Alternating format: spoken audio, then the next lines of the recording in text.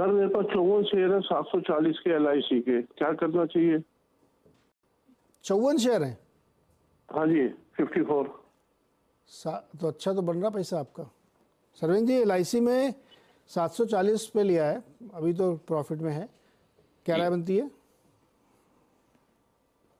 देखिए डेटा का यहाँ लॉन्ग टर्म में तो अभाव है बट मीडियम टर्म सेटअप हमने जब पहले भी डिस्कस किए थे कि बहुत लिस्टिंग के बाद काफ़ी ओवर सोल्ड था और अब जो जो इसने बनाया साढ़े पाँच सौ छह सौ के आसपास जो बेस बनाया है आई थिंक वो अच्छा है।